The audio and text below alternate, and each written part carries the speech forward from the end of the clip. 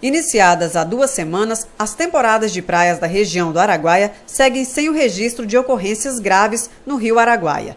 As cidades de Santa Terezinha, São Félix do Araguaia e Luciara estão com equipes de salva-vidas para auxiliar os banhistas. Entre as ocorrências registradas na região estão casos de afogamento, porém sem gravidades e de crianças perdidas. É, até o momento, né, só tivemos uma vítima, né, vítima de afogamento, o bombeiro conseguiu retirar ela, né, um êxito, né.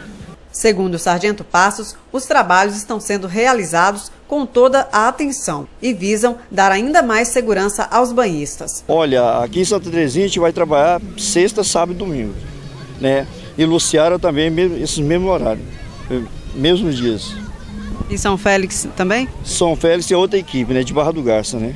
Mesmo é que é, lá é quinta, sexta, sábado e domingo.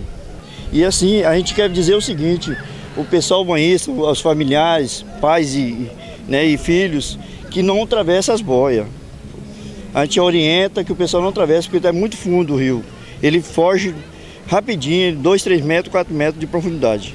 E as dicas dos bombeiros para que tudo ocorra da melhor forma possível é respeitar os limites seguros para banhar, que são indicados através de bandeiras vermelhas, ter atenção, evitar entrar na água sob o efeito de bebidas alcoólicas e respeitar as orientações dos profissionais como salva-vidas e bombeiros.